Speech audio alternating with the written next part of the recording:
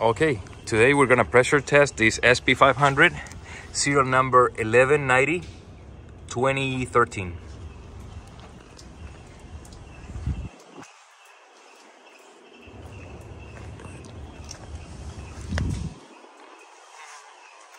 Mm -hmm.